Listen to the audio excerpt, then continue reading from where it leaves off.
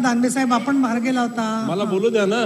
तुम्ही सांगितलं म्हणजे झालं का? आम्ही बोलायचं नाही का? सांगितलं म्हणजे आता सभागृहात आपल्याला तुम्ही सांगितलं म्हणजे झालं आम्ही बोलायचं तुम्ही नाही का? सविस्तर बोला सर्वजण? बोला त्याच्याबद्दल प्रश्न नाहीये. कसं? तुम्ही मुद्दा- सांगितलं म्हणजे अहो, पण झालं, मी आम्ही काय बोलायचं नाही? सांगितलं त्याचे? तुम्ही नव्हता तेव्हा सभागृहात. मग असं तुम्ही कसं? सभागृहात नव्हता माझा दोष नाहीये. मग? हा माझा दोष आहे का? तुम्ही बाहेर तुम्ही सांगितलं मी म्हणजे काय सगळं बोलायचंच झालं का? नाही म्हणून.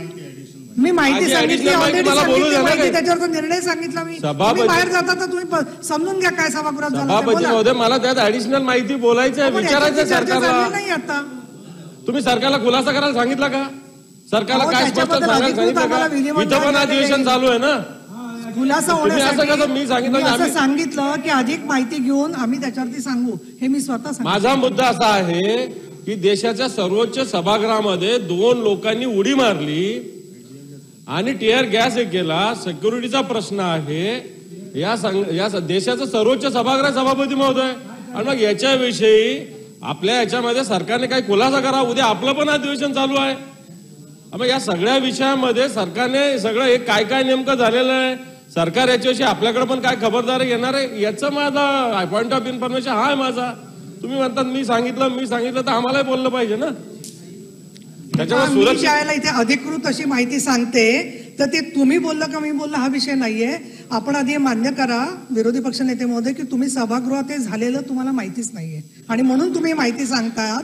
तर त्याच्यासाठी माझं तुम्हाला एवढं सांगणं होतं की हे सगळं बोलून त्याच्याबद्दलचे अजून जे डिटेल्स आहेत ते आपल्याला जेव्हा अधिकृतरित्या येतील त्या संदर्भात त्याच्याबद्दलच पुढची चर्चा होईल त्याच्यामध्ये. पण तुम्ही नव्हता सभागृहात त्याला मी काय करणार? तुम्ही त्याच्यावरती मला जाब विचारता मी त्याची दखल घेऊन सुद्धा तुम्ही बाहेर गोंधळ तयार करताय की आम्ही जणू काही गंभीरच नाही आहोत त्या विषयामध्ये हा.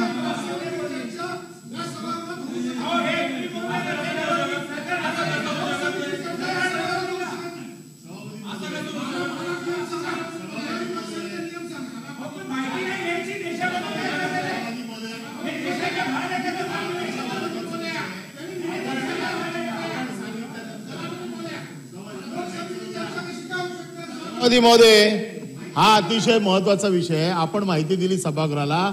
आपण पासेस बंद करतो हे देखील सांगितलं. परंतु त्यावेळेला फक्त आपण असं सांगितलं की दोन जणांनी वरून उडी मारली. आता जी माहिती आलेली आहे विरोधी पक्षनेत्यांकडे की टिअर गॅस देखील फेकले गेले त्याच्यामध्ये.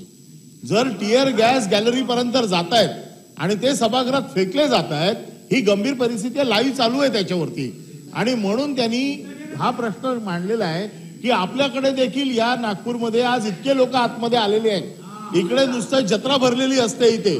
आता याच्यातला कोण वरती गेला आणि जर काय झालं?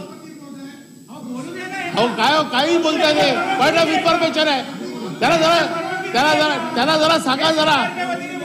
त्याला काय सिक्युरिटीचं काय महत्त्व आहे की नाही? मी कोणालाच परवानगी दिलेली नाहीये बोलायची. तुम्ही ज्याला उभं राहायचंय त्याही बोलतायत आणि चर्चा करताय तुम्ही.